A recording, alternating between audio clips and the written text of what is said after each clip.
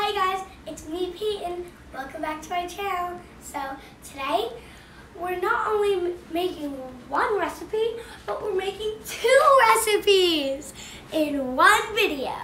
So today we're going to be making Swedish meatballs and a Scandinavian smorgasbord. Woo woo! Two recipes at one. Two recipes at one. Let's get on to the recipe. So the first step is for the Swedish meatballs. I have to tell you because we're doing two recipes. But first we we're starting with the Swedish sh- Swedish meatballs, and we have to preheat the oven to 450 degrees. De- degrees. Bake four, five, zero, zero, start. So if you didn't get that right, you press bake, four, five, zero, and then start. We're still working on the Swedish meatballs, and my mom helped me crack an egg since I'm bad at cracking eggs. I get shells in every single one. So I have some milk. Not for drinking, remember. Your mom can get you more milk that you can drink. Breadcrumbs. These are breadcrumbs.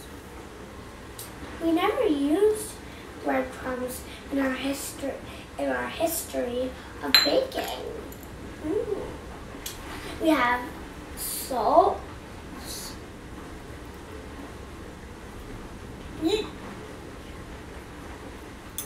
We have onion powder. and we have some allspice. And we also never used this in our baking history. Now we have to whisk it with the whisk.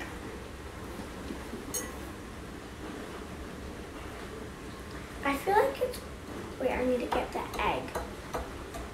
Okay, the egg is crushed. I feel like it's gonna um be like a dough consistency. And then we're and I and then I think think we're gonna shape them into little balls and then cook them. The next step is we have to add ground beef and pork into the mixture that we just made. I'm a little grossed out to do it because um, these things are really slimy. So let's just dump them in.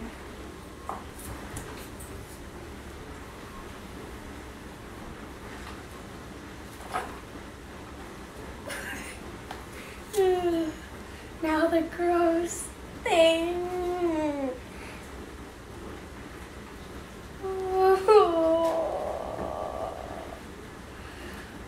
Just imagine that it's your slime. It's like slimy. Oh, no, it's not slime. Do you want me to help you with this part? Yes. My mom helped me mix it all up because it was very slimy. And now we have to shape it into balls. Dun, dun, dun. And guess what? They're so cute and tiny because they're only one inch small, like a little baby. Okay. My mom helped me dig one, so I'm just going. Now, remove this thing. And I just washed my hands, and now I have to wash them again. Wait, a little bit bigger.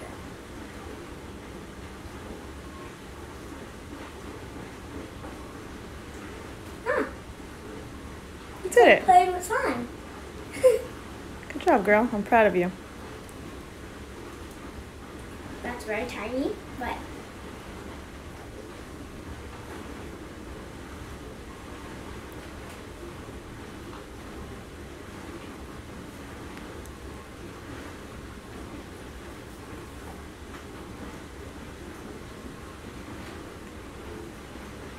Good job. I'm going to help you with the rest to speed up the process, okay? Okay.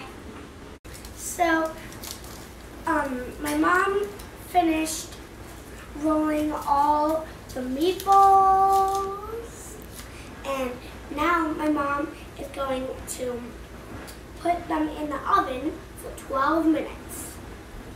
Now we're moving on to the smorgasbord. And guess what? There's only three recipes and three steps for each recipe.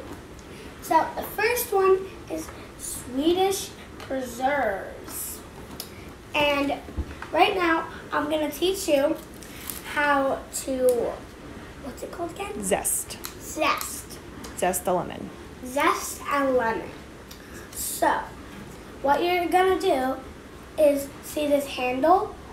Hold on to the handle, okay? And then get your lemon and make sure it's on this side.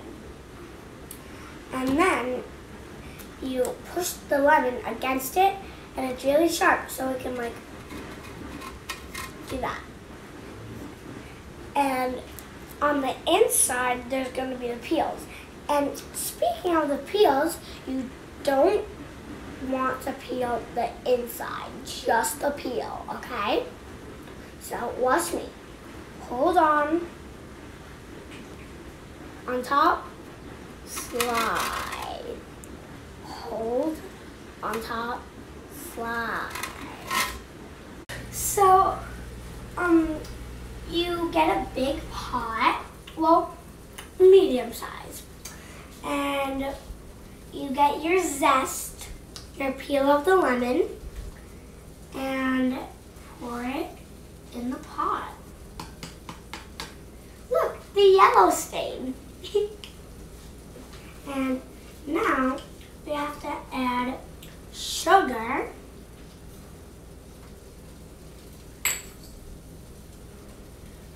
Frozen cranberries. Make sure they're frozen because they're already going to be cooked. They're going to be cooked. So frozen cranberries and water. Warm or cold water, Mom? It doesn't matter. Okay. So warm or cold water. And my mom is going to set the oven to boil. The stove. Stove to boil. So um, we have to turn the heat down Because it's what now? because the water is boiling. Excellent. And we have to wait that? 14 or Oh, see 15 more it's- minutes for the berries Mommy. to burst. Mommy. We have a lot going on here. Uh, the meatballs are done, the cranberries are starting to boil and burst. And now we're going to start the gravy. Three things. So, first, we just put the butter in a pan to melt it. So, now that the butter is all melted, we are going to add the flour in and then mix it for three minutes until it gets golden brown. I forgot to say, but until it gets golden brown. Now that we mixed it for about three minutes, we decided to add beef broth and salt, and we're gonna mix it again. It's very heavy.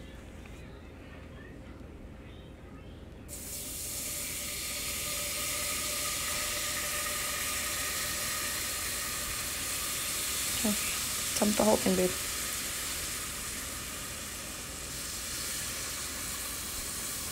But you said to do it slow.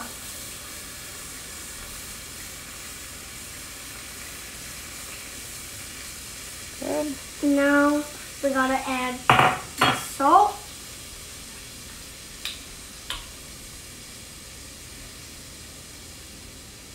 And now we have to whisk it once again.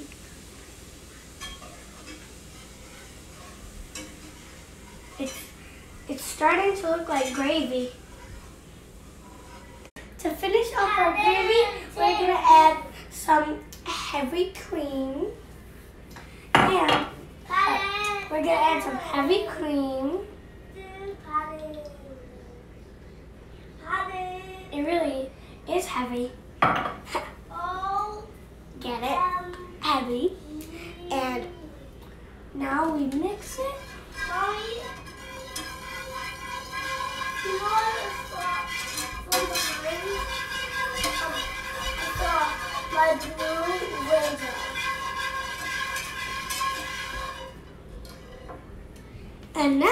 We use the tool of the mom to get our meatballs and put them in the gravy.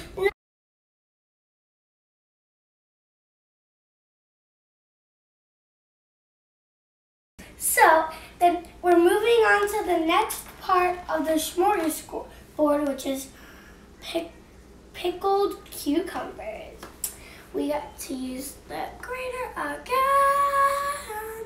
Okay, so this time we're gonna use this side.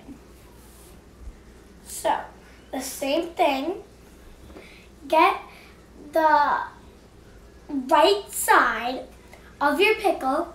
Cucumber. it's it's funny because it's called pickled cucumber. so you get the right side of your cucumber and you make sure it's straight and then push it. Did you hurt yourself? No, Oh, then why do you say ow? I don't know. I'm gonna help you with this, okay? Okay. Now it's time to pickle our cucumbers by adding the pickles into The cucumbers. the cucumbers into a medium-sized bowl. Hmm? And now we have to add sugar. Salt. Salt and apple cider vinegar.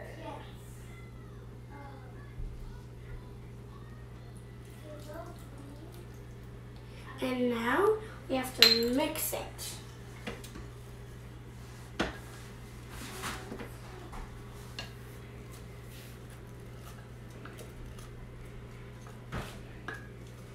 I can barely even mix it. There's so many cucumbers. It's okay. Let's just marinate for five minutes, okay? Okay. So this is our last part of the smorgasbord. We are doing dill potatoes. And we put potatoes in a pot and we have to boil them. And while it's boiling, we need to make the dill dipping sauce. This is the last step. Aren't you excited?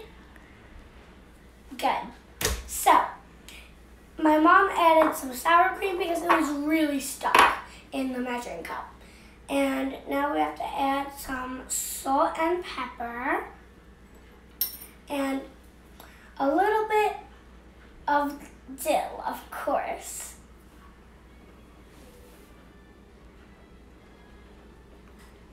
To make the dill dipping sauce. Get it? Dill. And we're sprinkling dill.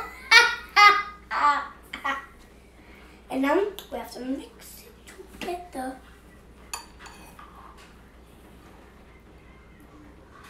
The four recipes are finally done. Now it's time for a taste test, and I brought somebody special. My dad. Hi. He's been on the YouTube channel several times. Mm, Several. maybe twice. This might be the third. Well, That counts. That's several. okay. Um, and look. That is the four recipes that we made in one video. Isn't that crazy? Are you ready to taste? I am. What do we what do we taste first? Whatever you want, really. You know what I'm gonna go for. Yes, Let me try a little sweet sugar. Should I just pop the whole thing in? if you want.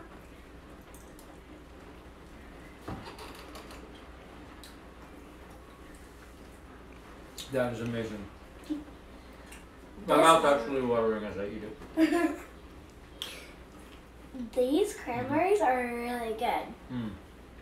Now, if you want, you can taste more. Oh, I'm going to.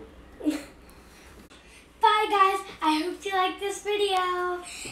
Subscribe, like, and share this video with your friends and family. Bye.